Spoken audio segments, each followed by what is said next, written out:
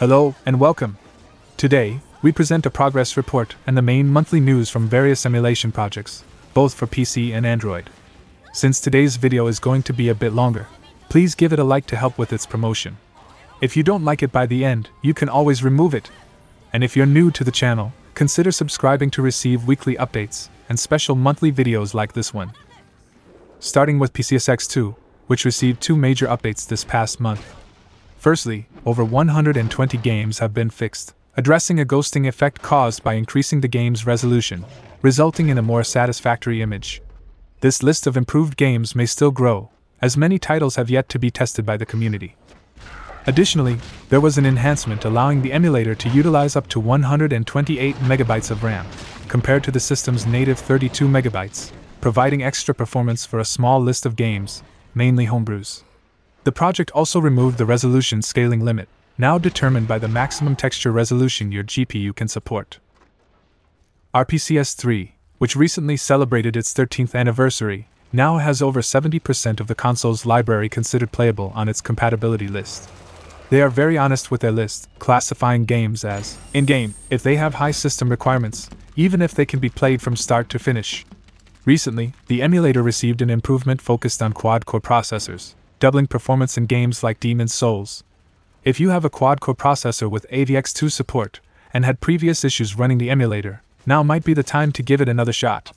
Moreover, there has been a significant improvement in the accuracy of games using Insomniac's engine, such as the Ratchet Clank series. While issues like the absence of grass have been fixed, the games remain unstable, causing crashes after some time of gameplay.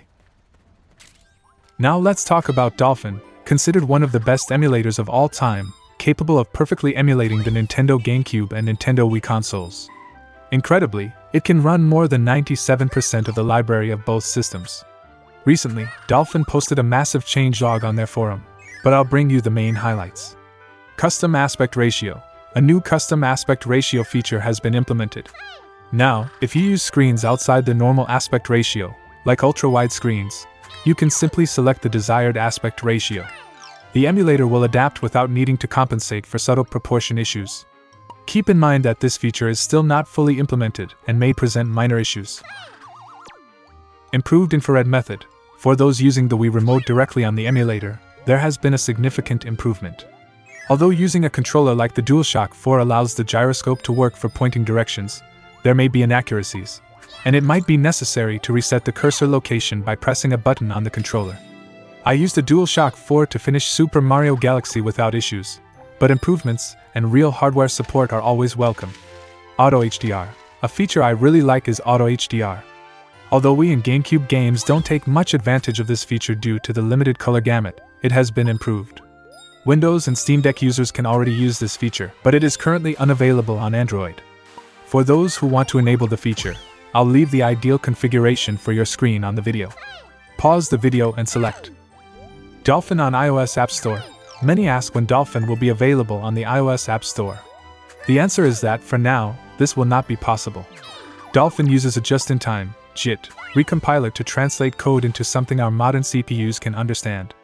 The problem is that Apple does not allow third party apps to use JIT recompilers on iOS and iPadOS. Dolphin has the interpreter and cached interpreter, which are non JIT methods to emulate the CPU. However, they are much slower than Dolphin's JITs, making them unusable for real games. Lastly, Dolphin will no longer receive updates in the way we are used to. For those who use only the stable versions, the last stable version of Dolphin was 5.0, released on June 24, 2016. If you are still using this version, stop now, as you are missing all the progress of the last 8 years.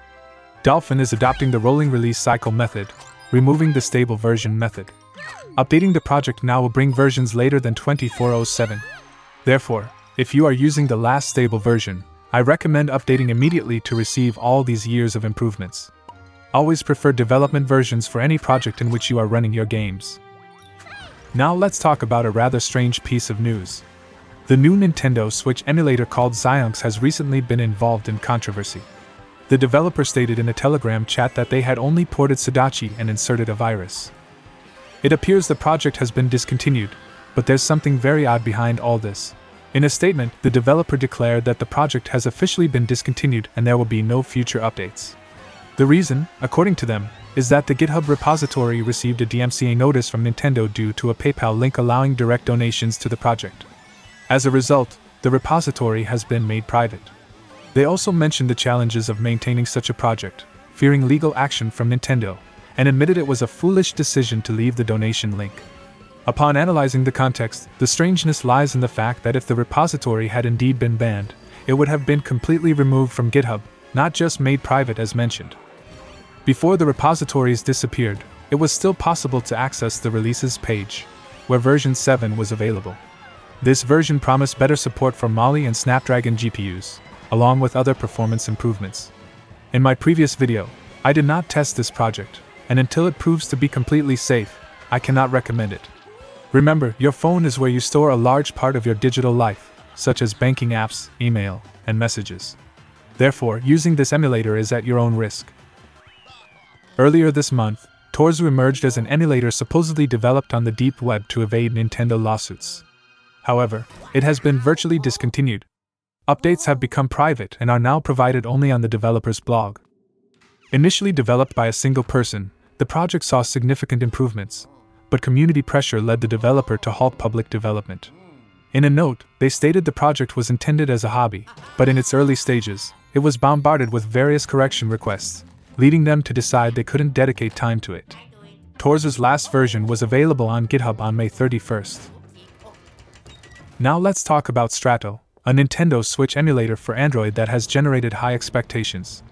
Strato stands out for being specifically developed for Android, unlike other emulators like Yuzu, which are ported from Windows versions. Last week, there were numerous rumors about Strato's imminent release, and even the lead programmer confirmed that the launch was close. However, days passed without the launch happening. Some developers involved with the project mentioned that if Strato were released prematurely, it would be much inferior to Yuzu and could quickly be forgotten. This has caused some frustration in the community. Personally, I've almost forgotten about the project due to the lack of updates. However, it's important to remember that developers are working voluntarily to benefit the community, often receiving only hate in return. For now, I recommend not getting too excited about Strato until we have more concrete information. Anyone following the emulator scene for Switch may have heard about Nozomi. This project aimed to be a clean and legal Nintendo Switch emulator, without using automatically generated key codes or illegally obtained code used in Yuzu's development. However, despite my report on Nozomi nearly a month ago, the last code update was exactly three weeks ago. Currently, the project doesn't run any commercial games or even homebrews. Therefore, don't expect much from this project for now. It's possible it may never see the light of day. Finally, let's talk about Nyushi, a new fork of Yuzu that has just been released. Nyushi's major feature is the ability to reduce resolution by 50% and even 25%, making it potentially more suitable for less powerful Android devices. Nyushi is being distributed directly through a Telegram community, with no development on GitHub or any other public platform.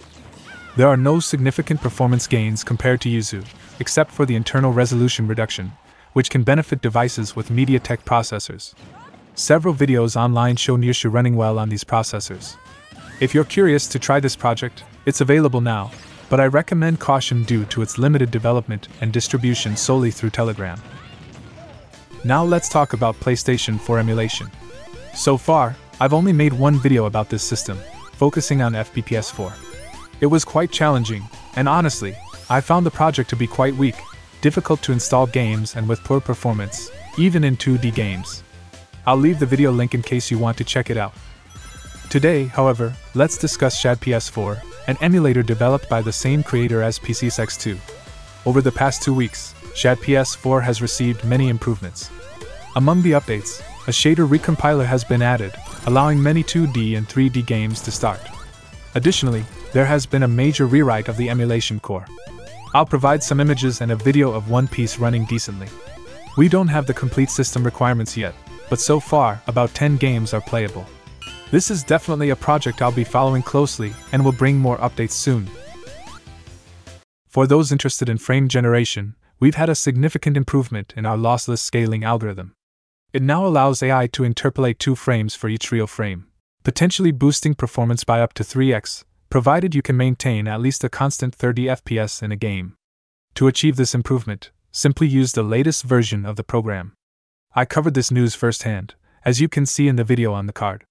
Additionally, I've made a comprehensive video showing how to correctly set up and use lossless scaling, explaining all its functions. And that's it for today, folks. Those are all the updates I had to share. Thank you for watching, and see you in the next video.